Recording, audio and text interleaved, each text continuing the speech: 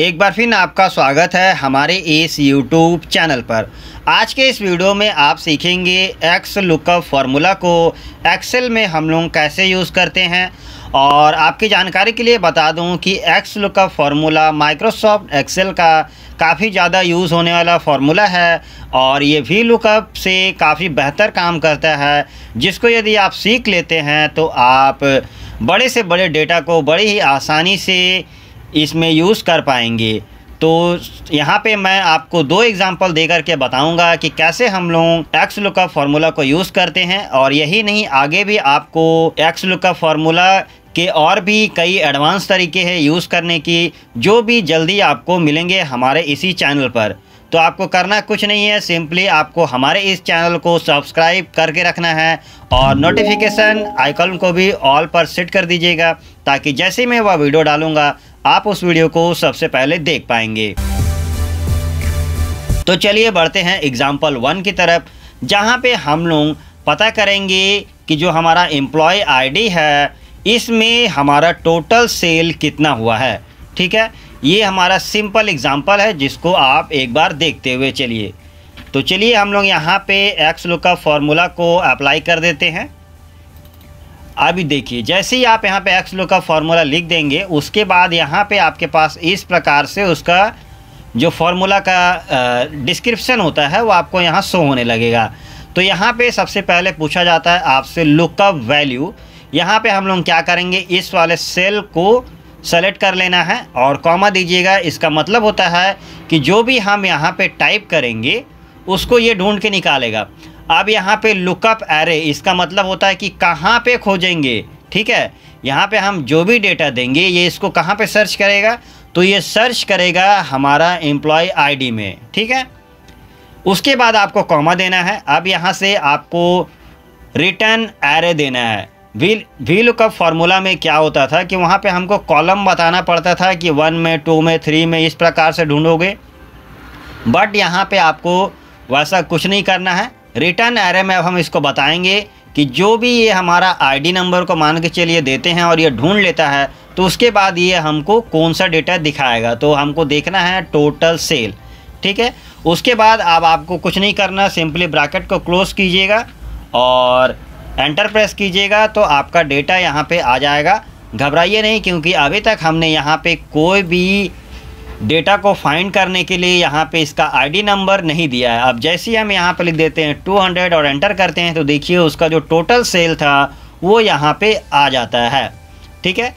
और चलिए, अब बढ़ते हैं एग्ज़ाम्पल टू की तरफ़, जो कि काफ़ी ज़्यादा एडवांस है और इसको सीखने में भी आपको बहुत मज़ा आने वाला है। तो हम क्या करते हैं, इसका जो हेडिंग्स है पूरा, इसका जो पूरा हेडिंग है, हम इसको पूरा कॉपी कर देते हैं। और चलिए यहाँ पे हम लोग इसको यूज़ कर देते हैं। पेश कर देंगे। आप देखिए, अब हम लोग क्या करने वाले हैं? अब हम लोग पता करेंगे कि जो हमारा एम्प्लॉय आईडी है, इसमें हम लोग नेम डेजिग्नेशन टोटल सेल और एड्रेस पूरा हम लोग सर्च करा के देखेंगे। तो इसको आप ज़रूर देखिए, किस प्रकार से हम लोग करेंगे। और वे लोग का फार्मूला में क्या होता था कि हमको सभी में एक एक करके फार्मूला अप्लाई करना पड़ता था। लेकिन एक्स लुक का फार्मूला में ऐसा कुछ नहीं करना पड़ेगा। सिंपल हम एक बार फार्मूला लगाएँगे और सभी डेटा को हम लोग देख सकते हैं। तो देखिए कैसे इसको अप्लाई करना है। नेम वाले ऑप्शन में हम क्लिक करेंगे और यहाँ पे हम लोग एक्स लुक का फार्मूला अप्लाई करेंगे। देखिए लुकअप वैल्यू में हम लोग क्या करेंगे? इसको वापस से आईडी नंबर पे हम लोग सर्च कराएँगे। और कॉमा दे देंगे। देखिएगा, हम आईडी नंबर पे सर्च करा रहे हैं। आप किसी नेम में भी हो गया, किसी भी चीज़ में सर्च करा सकते हैं। ऐसा नहीं है कि आप केवल आईडी नंबर पे ही सर्च करा सकते हैं, ठीक है? अब देखिए लुकअप एरे कहाँ पर ढूंढेगा? तो भाई, हमको आईडी में ढूंढ, खोजना है। और उसके बाद आपको कॉमा देना है रिटर्न एरे ठीक है? रिटर्न एरे में क्या दिखाएगा? तो हमको भाई सभी डेटा देखना है। तो हम क्या करेंगे? पूरा डेटा को सेलेक्ट कर लेंगे। और वापस इसको ब्रैकेट क्लोज, एंटर। ठीक है? अब यहाँ पे जैसे ही हम लोग इसको देते हैं कि हमको भाई 201 में क्या नेम क्या डेजिग्नेशन है टोटल सेल कितना है एड्रेस कितना है, हमको बताओ। एंटर प्रेस करते ही देखिए जादू इस प्रकार से आपको पूरा डेटा वह दिखा देगा। जितना तक आपने रेंज दिया था, उस रेंज से जितना डेटा मिलेगा, वो पूरा आपको दिखा देगा। अब चलिए, अब आपको और एक चीज़ बता देते हैं। तीसरा एग्ज़ाम्पल जो कि काफ़ी ज़्यादा मायने रखता है। अब यहाँ पे मान के चलिए, हमने कोई गलत नंबर टाइप कर दिया। तो इसका जो एरर होगा, वो भी आपको जिस नेम नेम के अंदर आपने फार्मूला लगाया था, ये केवल एरर आपको वहीं देखना पड़ेगा। बाकी सेल्स में आपको कहीं पर भी एरर देखने को नहीं मिलेगा। और तो यदि हम यहाँ पे कुछ कस्टम मैसेज दे देते हैं कि ये हैश टैग एन ए का जो एरर आ रहा है, ये नहीं दे। इसके बदले में हम कुछ लिख देते हैं, उसके लिए हम क्या करेंगे? वापस फार्मूला में जाएँगे और जो ब्रैकेट ओपन है, इसको हम लोग डिलीट कर देंगे कॉमा देंगे। और जैसा कि आपको पता ही है कि वी लुक का फार्मूला में हम लोग को इफ़ का जो फार्मूला होता है, उसको ऐड करना पड़ता है, तब जा कर के हम लोग कोई मैसेज दे पाते हैं।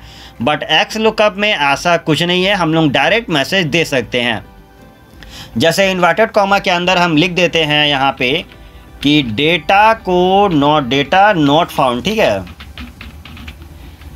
इन्वर्टेड कॉमा क्लोज करके ब्रैकेट को भी हम लोग क्लोज कर देंगे और एंटर प्रेस कर देंगे तो देखिए डेटा नॉट फाउंड आ गया। एक बार चलिए, हम वापस से करके दिखा देते हैं। यहाँ पे हमने 201 सर्च किया तो उसका डेटा यहाँ पे आ गया। उसके बाद यदि हमने कोई गलत नंबर सर्च कर दिया तो उसका डेटा मौजूद नहीं है, ये बता देगा। तो इस प्रकार से आप एक्स लुक का फार्मूला को अप्लाई कर सकते हैं और अपने एक्सेल में काफ़ी ज़्यादा एडवांस वर्क कर सकते हैं। और ये तो कुछ नहीं था दोस्तों, ये तो सिर्फ़ एक बेसिक तरीका था एक्स लुक का फार्मूला का। आपको इससे भी कई ज़्यादा एडवांस लेवल के तरीके हमारे इस चैनल पे जल्दी मिल जाएँगे। तो आप हमारे इस चैनल को सब्सक्राइब करके रखिए और नोटिफिकेशन बेल को भी ऑल पर सेट कर दीजिए, ताकि जब भी मैं वह वीडियो डालूँगा, आप उस वीडियो को सबसे पहले देख पाएँगे।